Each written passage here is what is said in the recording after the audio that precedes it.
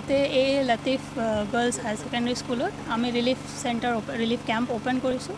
ইয়াতে এতিয়ালৈকে আমাৰ মানকাছাৰ ৱেষ্ট জি পিৰ পৰা ছেভেণ্টি ছেভেনমান মানুহ ইয়াতে আহিছে। আহ, সৰু বাচ্চা প্ৰেগনেণ্ট উইমেন লেকটেটিং মাদাৰ্ছ চবেই আহিছে ইয়াতে। আমি এইটো চাবলৈ আহিছোঁ কেনেকুৱা এৰেঞ্জমেণ্ট হৈছে। আমাৰ চাৰ্কুল অফিচাৰ ইয়াতে গোটেই দিনটো আছিলে। তো যেতিয়া যেতিয়া মানুহ আহি আছে আমি লিষ্টিং কৰি আছোঁ আৰু তেওঁলোকক ৰিলিফ দি আছোঁ। হয় হয়। এইটো কেনেকৈ কি বনাই আছে আৰু আমাৰ ৰিলিফৰ মানুহ পাইছে না নাই এইটো জাষ্ট চাবলৈ মই ইয়াতে আছোঁ। আৰু মই গোটেই চাউথ শৰ্মা মানকাছাৰ ডিষ্ট্ৰিক্টত যিমান মানুহ আছে পাব্লিকক মই ক'ব বিচাৰোঁ কি এইটো চিন্তা কৰিব নালাগে ৰিলিফ চেণ্টাৰ বা ৰিলিফ কেম্প আমি বনাই দি আছোঁ। তেওঁলোকে তাতে গৈ পেলাই আমাক জাষ্ট ইনফৰ্মেশ্যনটো দিলেই হ'ল। আমাৰ গোটেই অফিচাৰ এতিয়া কোনেও অফিচত নাই।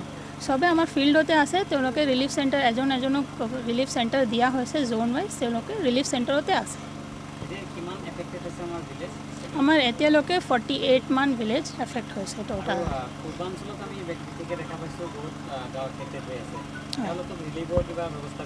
হয়। আমি কৰি আছোঁ হয় আমি কৰি আছোঁ। যদি কোনোবা মানুহে আমাৰ ৰিলিফ চেণ্টাৰলৈকে আহিব পৰা নাই বা ৰিলিফ কেম্পলৈকে আহিব পৰা নাই আমি চেষ্টা কৰি আছোঁ কি ইয়াৰ পৰা গৈ পেলাই তেওঁলোকক বোটৰ মাজেদি কিবা ডিষ্ট্ৰিবিউশ্যন ঘৰত গৈ পেলাই দি আহিব পাৰিম না নাই?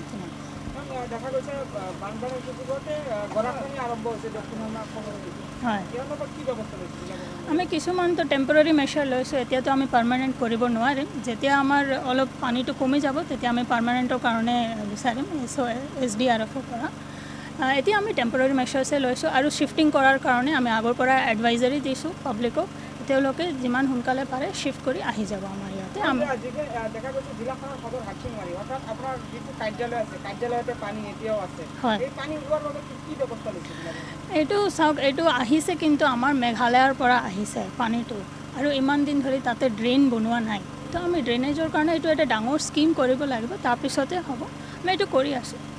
পূৰ্বাঞ্চলৰ মানুহৰ কাৰণে কি মেছেজ দিব? পানী ওলোৱা নাই।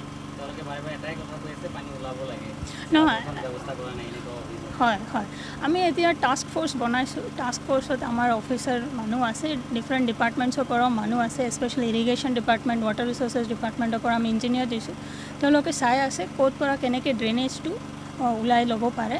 কিছুমান আমাৰ কালভাৰ্ট আছে যিবোৰ ব্লক হৈ আছে বহুত দিনৰ পৰা ব্লক হৈ আছে। আমি কেইটামানতো জে চি বি লগাই পেলাই আমি ক্লিয়াৰ কৰাইছোঁ। আৰু আছে কেইটামান সেইবোৰ কৰি দিম।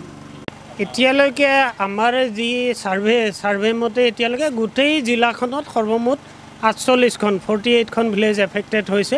কিন্তু কম বেছি পৰিমাণে আমাৰ যি জীৱ জন্তু বা এগ্ৰিকালচাৰ ক্ৰপ এৰিয়াৰ কথা ভাবিলে আমাৰ এশ পোন্ধৰখনৰ ভিতৰত মানকাছাৰ ৰাজহ চক্ৰৰ অন্তৰ্গত প্ৰায় এশখনমান ভিলেজত ইতিমধ্যে কম বেছি পৰিমাণে এফেক্ট হোৱা দেখা গৈছে।